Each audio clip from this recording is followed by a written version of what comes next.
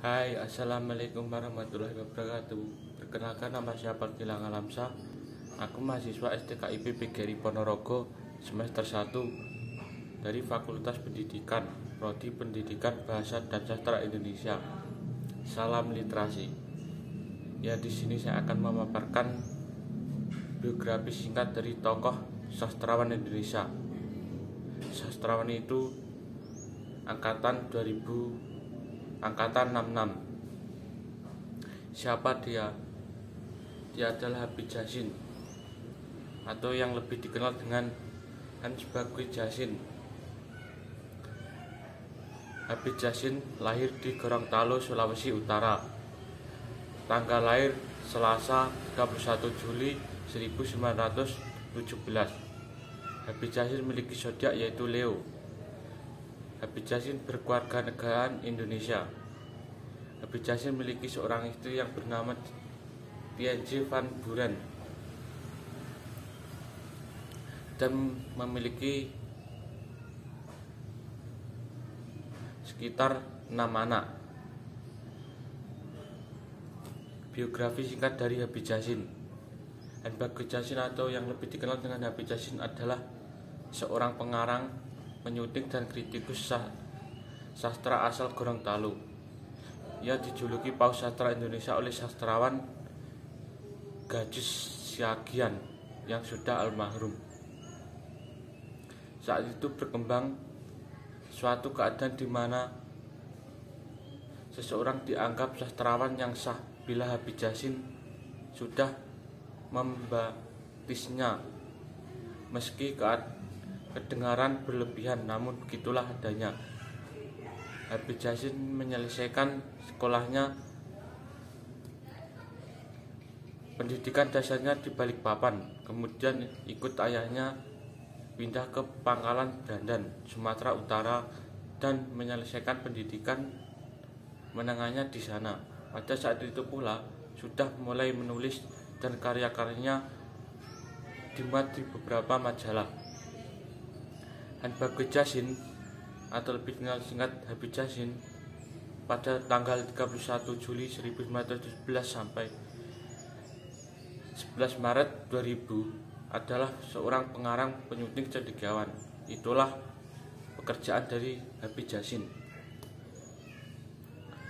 Muslim dan kritikus sastra berdarah Gorontalo dan kebangsaan Indonesia banyak tulisan-tulisannya yang sudah dimuat di dimuat dan digunakan sebagai sumber referensi atau acuan bagi pelajar bahasa dan sastra Indonesia di kalangan sekolah dan perguruan tinggi dengan menggolongkan angkatan sastra. Dia mendirikan pusat dokumen, dokumentasi sastra di Indonesia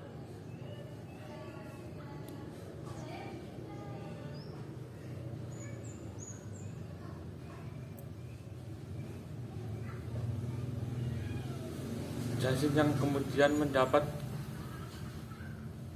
bantuan gedung dari pemerintah daerah DKI Jakarta di Taman Ismail Marzuki karena kiprahnya di bidang kritik dan dokumentasi sastra dijuluki sebagai paus sastra Indonesia.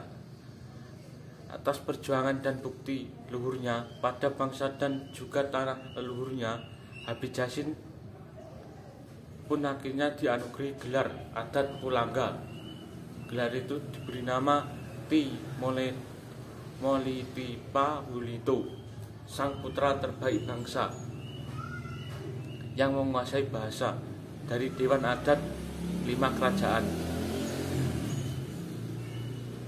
Tepatnya di Gorontalo. Habib Jasin banyak menciptakan sebuah karya. Contoh karya Habib Jasin puisi yang berjudul Ciptakan Dunia Bahagia Perbaruan Tekad dan doa.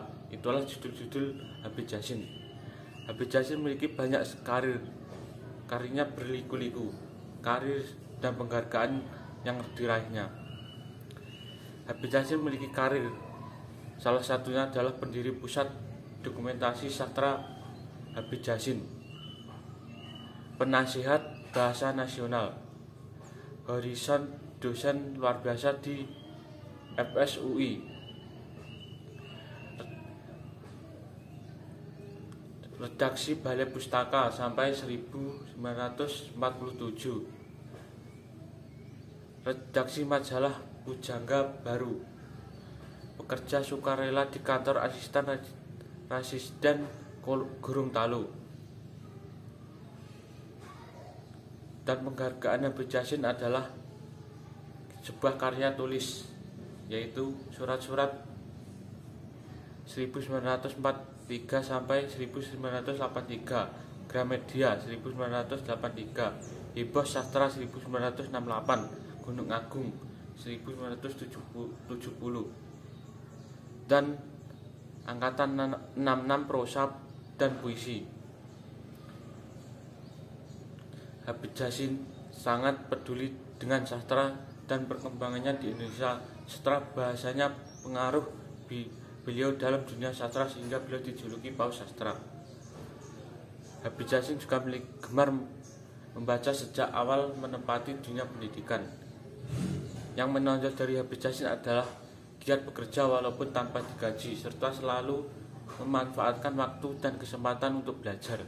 Ini dibuktikan bila mempelajari cara membuat dokumentasi yang baik semasa bekerja di kantor asisten residen Gorontalo. Teguh dan pendirian tidak ingin menggunakan mengungkapkan jati diri. Itulah salah satu yang dimiliki oleh Habib Jasin.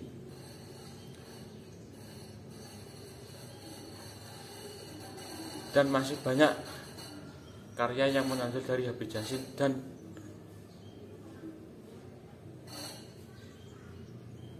menurut saya Habib Jasin adalah tokoh sastrawan yang bisa diberi penghargaan atau bisa dicontoh?